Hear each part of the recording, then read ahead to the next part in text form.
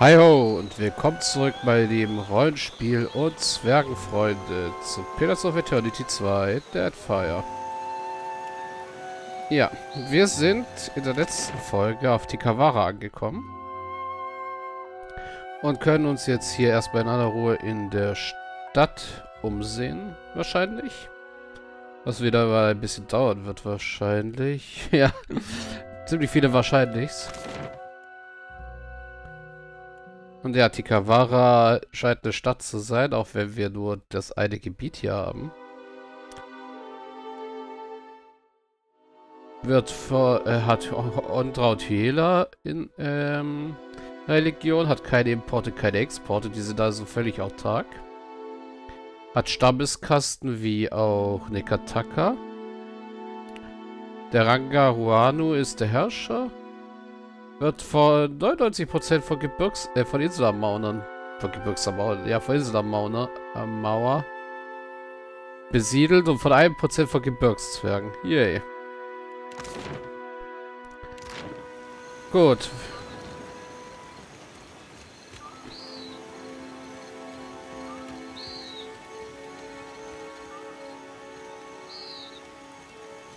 Wir haben auch unsere Gruppe neu angepasst, haben Tekeo und auch Maya mitgenommen. Da sollte ich mal nicht abbrechen. Hier die Formation gehen und gucken, ob alles so stimmt. Ja, kann man so lassen. Also Ishiza Amayas Papagei die zweite Reihe nehmen.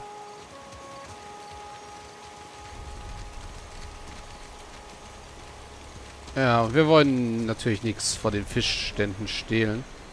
Kleinere Fische, mehr Gräten als Fleisch trocknen auf dem Gestell. Ihre Augen sind verschrumpelt. Und ihre Schuppen schal. Okay. Sollte mir wieder angewöhnen, das hier unten dann im Sprachverlauf zu lesen. Oh, Katze. Miri. Plus 1 Intellekt.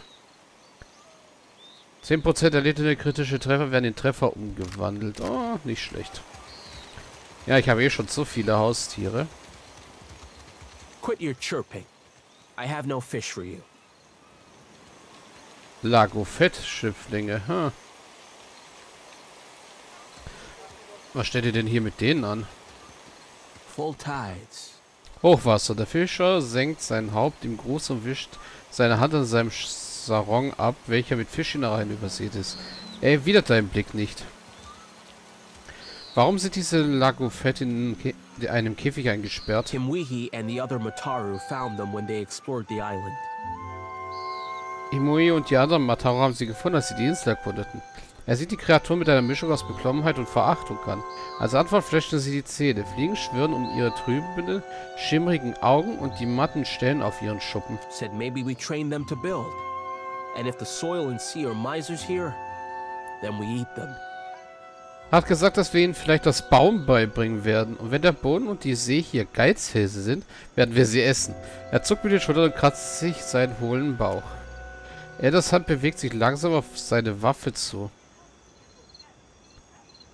Er blinzelt seinen Begleiter teilnahmslos an und sieht leicht ungeduldig zum Meer hin. Was kannst du mir über Tikawara sagen? Die Flut ist mit Fisch geizig und die Ebbe noch mehr. Er zeigt hinunter zum Strand, wo ein einsames Gestell mit ein paar mager aussehenden Fischen steht. the fish do not swim to you, brother? Hm, strange. Die Fische schwimmen nicht zu dir hin, Bruder? Seltsam. Ja, Tekeo verspottet ihn. Here. For Ingati does not bless us all equally.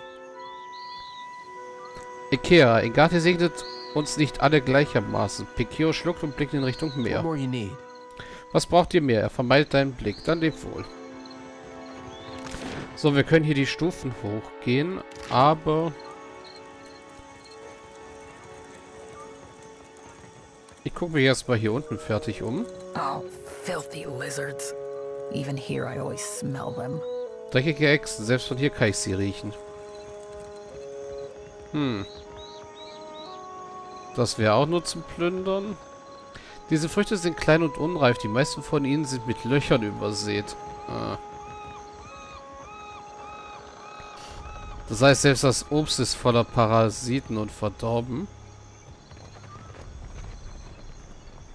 So, wer bist du denn? Du beschwerst dich hier über Echsen. Die Frau schaut mit überkreuzten Armen von dem halbfertigen Gebäude, als würde sie gegen den Schutz protestieren, den es bieten könnte. Ihr Gesichtsausdruck wirkt finster, aber das könnte auch an den Namen in ihrem Gesicht liegen. An outsider in Tiquara? Who are you, stranger? Ein Fremder in Tikawara? Wie bist du, Fremde? Ihre Hand wandert zum Ledergürtel, der eng um ihre Taille geschlungen ist. Ich bin Hagrim, Captain der die Defiant. Die Valianische Handelsgesellschaft will, dass ich mich um ihre Investition kümmere.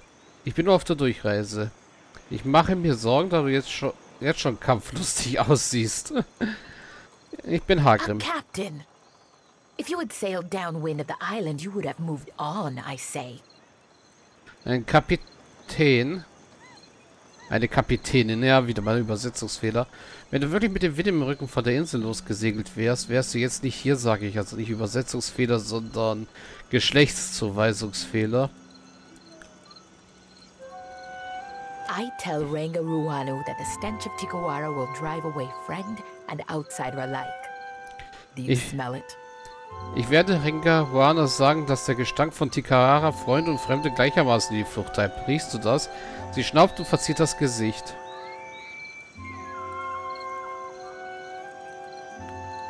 Wovon sprichst du? Vier Lagofett. Ihrem Geruch nach sind sie noch jung, noch Schlüpflinge und in Not. Meine Freunde hier haben versprochen, dass sie ein Bad nehmen, bevor wir den Hafen verlassen.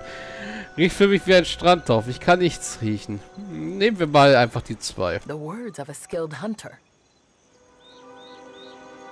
Die Worte eines geschickten Jägers. Sie nickt beeindruckt. Mit einem Schmunzel verschränkt Maya die Arme. There is no food on this barren island that those monsters do not steal. Es gibt kein Lebensmittel auf dieser kargen Insel, das diese Monster nicht stehen würden. Ihre Namen sind wie Nähte, die ihrem Gesicht einen finsteren Ausdruck verleihen. Yeah, but how could you say no to those little faces? Ja, aber wer könnte diesen kleinen Gesichtern widerstehen? Edda, der Tierliebe, natürlich mal wieder. Always they circle our village looking for weaknesses. Sie umkreisen ständig unser Dorf auf der Suche nach Schwachpunkten. Sie schüttelt einen Finger und bringt ein Argument, das sie anscheinend oft vorgebracht hat.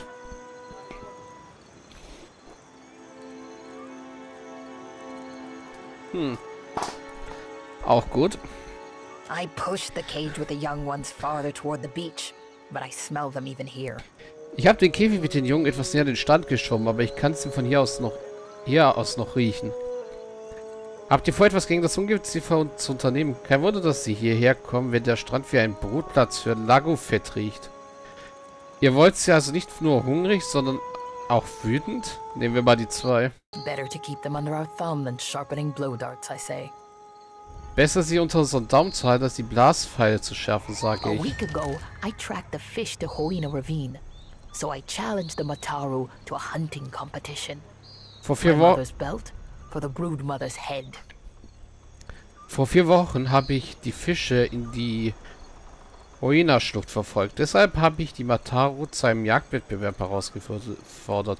Der Gürtel meiner Mutter gegen den Kopf der Brutmutter. Grinsend hackt sie ihren Daumen in den Ledergürtel an ihrer Taille. It is not every day that newcomers land on our beaches. What say you show me how outsiders deal with Lagufath? Es kommt nicht jeden Tag vor, dass neue Gesichter an unseren Stränden landen. Willst du mir nicht zeigen, wie Fremde mit dem Lagofett umgehen? Kleiner Wettkampf geht, klingt gut. Du scheinst stark genug, um ein mit ein paar Lagofett fertig zu werden. Ich denke darüber nach. Nehmen wir mal die zwei. Akira, you are perceptive for being outside the tribe. Akira, dafür, dass du nicht dem Stamm angehörst, bist du sehr scharfsinnig. Sie nickt und spitzt die Lippen. Ranga orders us to defend his trading post. Otherwise, I would take up my spear. Der Ranga befehlt uns, diesen Handelsposten zu bewachen, sonst will ich meinen Speer erheben. This is sorry work for Mataru, I say. Das ist auselige Arbeit für eine Mataru, sage ich. Sie verschränkt die Arme noch enger und starrt die zusammengeflickten Gebäude so böse an, als soll sie sie am liebsten eintreten. Ja, Mataru ist immer noch die höchste Kaste. Ich denke darüber nach. Keep your eyes and ears open. The brood is daring when the mother is close. Halte deine Augen und Ohren offen. Die Brut ist mutig, wenn die Mutter in der Nähe ist. Sie tippt neben einen Augenwinkel und sieht dich direkt an. I'll have that fish woman's head mounted in my hut before long. Der Kopf dieser Fischfrau wird bald in meiner Hütte an der Wand hängen. Sie atmet aus und wendet den Blick ab. Äh, was tust du die mit diesem Schiffswrack? Der Ranker wollte einen Handelsposten. Sie starrt finster auf das seltsame Gebäude, das aussieht wie eine Mischung aus Gerüst und Schiffswrack. He said it will bring more Valians like the sweaty dwarf. Then they will bring food and supplies and their sweaty money. Er sagt, es wird mir Valianer wie den schwitzenden Zwerg anlocken, die Nahrung und die anderen Dinge und die verschwitztes Geld mitbringen werden. Ekel zieht über ihr Gesicht. Was ist falsch daran? Always I stand here. This is no job for the Mataru. We hunt, fight, and lead. Ich stehe immer hier, aber das ist keine Aufgabe für die Mataru. Wir jagen, kämpfen und führen. Sie geht neben dem Handelsposten auf und ab. Ihre Arme und Beine zittern mit rastloser Energie. Du scheinst das zu überwachen. Warum jagst du oder kämpfst du dann nicht? Zurück zu meinen anderen Fragen. Nehmen wir mal die zwei. What is there to hunt on this heap of rock and moss? No game.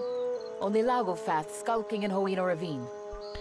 Was gibt es da auch zu jagen auf diesem Haufen Steine und Moos? Kein Wild, nur Lagofett, die sich in den Huina, die sich in der Huina-Schlucht verstecken. Even the antelope know there is no fit home. The grasses are thin and the trees are like a child's bones. Small and soft. Sogar die Antilopen wissen, dass man hier nicht leben kann. Die Gräser sind dünn und die Bäume wie Kinderknochen, klein und weich. Even to build this, we must hike up the mountain for wood. Nur um das hier zu bauen, mussten wir bereits Holz vom Berg holen. Sie klopft mit ihrem Knöchel gegen den Handelsposten. Kann ich Vorräte Am kaufen? I a Kuaru? Do I dirty my fingers with coins a thousand hands have touched? Never. Sehe ich aus wie ein Kuaru? Ja, Handwerker und Händlerklasse. Mache ich mir die Finger mit Münzen schmutzig, die schon tausend Hände berührt haben? Niemals, sie spuckt aus. Go see the sweaty one, the dwarf. He washes his hands sometimes. Such den Schwitzenden auf, den Zwerg. Er wäscht sich manchmal die Hände. Kriege ich einen Platz zum Ausruhen? You'll never meet a more welcoming tribe. Du wirst nie einen gastfreundlicheren Stamm begegnen. Sie schiebt ihr Gesicht dicht an deines heran und starrt dich finster an, als wolle sie sehen, ob du es wagst, ihr zu widersprechen. See? The villagers brawl for the honor of your visit. Schau, die Dorfbewohner prügeln sich um die Ehre deines Besuchs. Ah ja, rasten könnte ich hier. Wow, kostet aber einiges. Plus zwei Entschlossenheit, dauerabträgliche Effekte, drei Intellekt, Angriffe unterbrechen, mit ermächtigt... Mit ermächtigt Angriffen, ja. Voll gut Deutsch.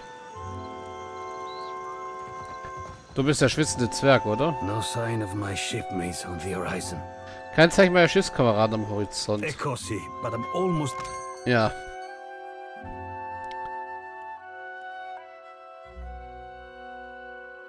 Ähm. Brauchen tue ich ja nichts mehr, habe ich ja schon in der letzten Folge. Habe ich ja schon in der letzten Folge geguckt. Kuaro Handwerkerin. Das hier ist übrigens auch vertauscht. Hier steht Handwerker, hier steht Handwerkerin. also ja, da ist irgendwas schiefgelaufen mit der Zuweisung. So, das ist die Hütte des Häuptlings. Da wollen wir als letztes hin, denke ich mal.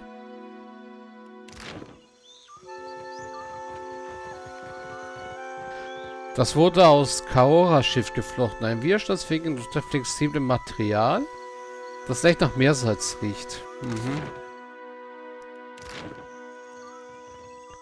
Village starves, and you hide Kowiki fruit? I hide nothing, you bloated pufferfish. Traitor! Gathy's jaws will close around you. Was zur Hölle ist hier los? Confess, Tamau, or will you let good food rot? Gestehe, Tamao, oder willst du gute Nahrung verrotten lassen?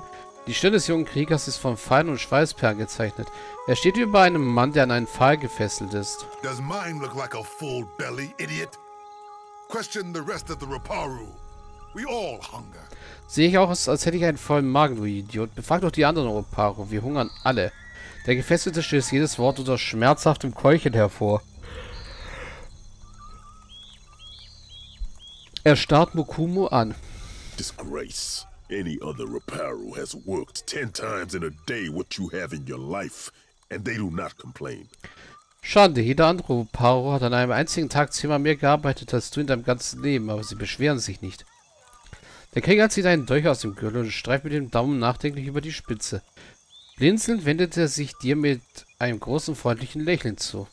Another outsider. You visit Tikawara in hungry times.